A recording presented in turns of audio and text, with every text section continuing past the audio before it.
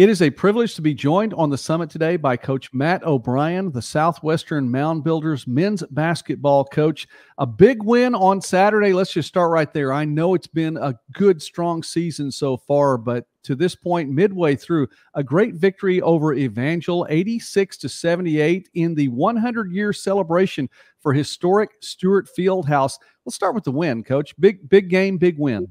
Yeah, first of all, thanks for having me. I love talking about Southwestern basketball. Really proud of our program and our players and our assistant coaches. So, love the opportunity. What a big night we had uh, celebrating 100 years um, of Southwestern College, the Stewart Fieldhouse. We have a national sports landmark that we play in, um, the oldest gym west of the Mississippi and in my opinion, the very best place to play basketball in the United States. It's a, certainly a unique environment, a lot of fun. Uh, and then during that during that celebration, we were able to get a good win versus a very well coached Evangel team. This team was very very good on offense, uh, challenged us in a lot of ways. Um, but we got an awesome performance from our, our team and Cevin Clark, who ended up having 42 points, where we were able to come out with a win. Coach, I mean, you know you're going to celebrate an event like that anyway. It's marked on the calendar going in and, and recognizing a historic venue and, and a big night, but to come away with a victory on top of it, too, I mean, that's one of those things that you hope the script works out, right?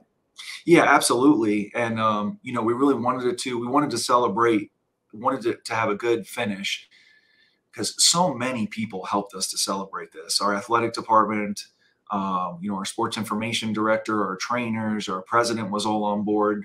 And we have a very active booster club who did a lot of work to try and celebrate this event and volunteers their time. And so it was just a lot of fun for it to be a huge success and everybody to have a good time and celebrate our team, our college, and this wonderful gym that we get to play in. Well, with that victory on Saturday, you you move past the 350 mark now at 351. That's a nice plateau, coach. 350 wins, pretty lofty number for a head coach. Yeah, I'm I'm I'm really proud of it. Um, honestly, I'm really proud to have lasted. Uh, you know, coach this profession and, and to lasted at one school for 15 years. I was at another school, Central Christian College, for three years as a head coach. But uh, you know, to last 18 years and um, to be here at Southwestern in the same spot for 15 years, to be able to take the hits. You know, the years that uh, you know where either some some kids got injured or things didn't go well you got criticized you lost tough games we've been able to take the hits and keep going. Um, we like to pride ourselves on grit and um, i'm really proud of our our coaches being able to last this long. 15 and 2 it's a good year this year. We'll talk about this one in particular. 15 and 2 10 and 2 in kcac play and right now the number nine team in the country. Tell us a little bit about this year's squad this is a veteran squad with super high character, high IQ. It's really, really a fun group to coach. Uh, we've got a lot of good players. We've got six seniors that have a lot of experience and um, you know really buy into what we're doing and each other. So um, to be honest with you, it's a lot of fun. Um, I, I, really, really enjoy practice. I'm one who loves practice. Every, I mean, I, I enjoy practice so much. It's my favorite thing um, but they make it even more enjoyable. I'm so thankful that these guys allow me to coach them. I coach them hard every single day. Our practices are really tough, they're challenging, and these guys allow me to challenge them and push them to get better daily. Uh, as long as well as our coaches, I push our coaches. We have a young coaching staff who I push daily, and uh, they continue to get better. And um, when I see improvement, that's what it's all about for me. When I I can watch uh, people getting better and improving, um, it's a really really a lot of fun for me and and and extremely fulfilling. We're here on Midwest Sportsnet visiting with Coach Matt O'Brien on the summit today, and I encourage you please continue to watch the videos here and like this video. We enjoy talking about small college sports and more throughout the Midwest and beyond.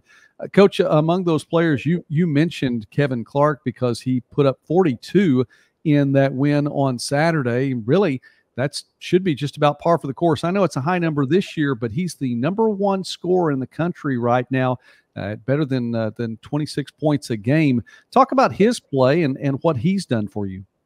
Well, mean, he's an unbelievable competitor, and as good of a scorer as he is, and that's just a fact how well he scores the basketball. Uh, he is an even better teammate and competitor. This kid competes at a really, really high level. Defensively, loose balls He takes charges. His desire and will to win are very, very strong. And uh, what makes it great is he's a really good teammate. Where, you know, when you have a, a guy taking a lot of shots like Cevin does, you, you can have some people that are, uh, you know, wanting more of an opportunity on the offensive end. But uh, Cevin is such a good teammate and so much about the team and winning that it you know it provides no problem for us as we focus on getting him shots and our team really does work together to get him as most shots as possible because you know he's has such a great ability for scoring the basketball.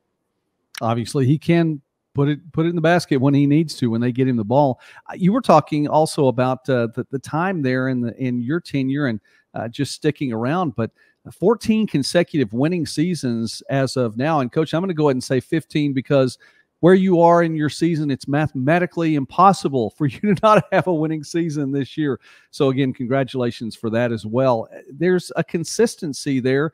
And you talked about a veteran squad this year, young coaching staff, but talk about the consistency and the culture and, and what it means to be there at Southwestern and part of this program. Well, thanks for that question because I'm really proud of how consistent we are. And the culture is, you know, we we've we've talked about culture of matters being our slogan for close to 10 years now. I mean we we don't try to outcoach people.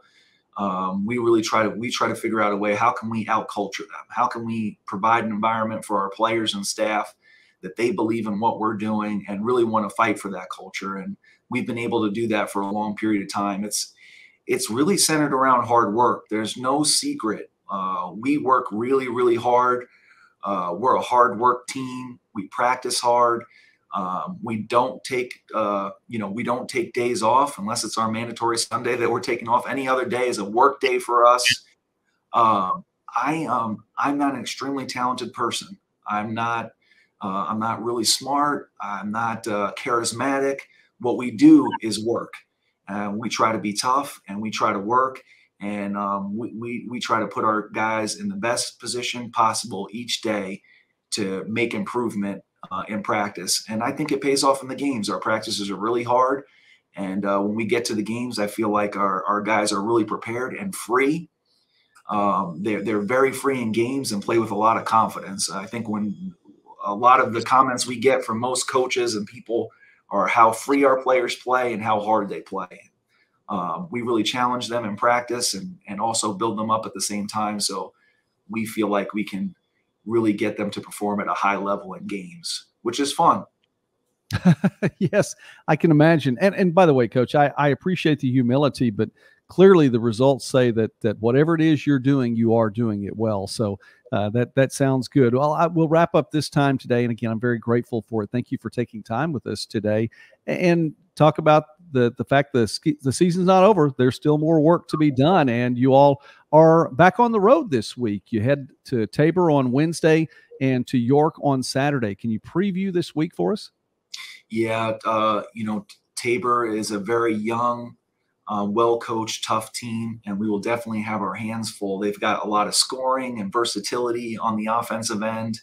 Um, their bigs can really shoot it, that can present challenges for us uh, and they run a lot of good offensive action. So um, our guys uh, have been really preparing hard the last couple days for this really good Tabor team, and we're looking forward to the challenge on the road. And then again on Saturday, you know, we go to York, Nebraska. It's one of our longest, if not our longest trip of the year, and they're a very talented, uh, athletic basketball team that gave us everything. Um, was very close game with us in the first semester. This is our second second competition against them, and they were very, very difficult opponent for us. And so we have our hands full with two games on the road, but you know, I think our guys they have the attitude and the aptitude to uh, work hard these two games, concentrate on the scouting report, dial in, and play their best basketball here when we need them to late late here in January and going into February. All right, Coach. Well, success to you all through the remainder of this season. Southwestern Mound Builders looking to make another trip through the uh, conference portion of the postseason and try to make it back to Kansas City and make a trip deep into the playoffs again as well. Coach Matt O'Brien, thank you, sir, for taking time with us today here on the summit. All right. Thanks a lot, and go Builders.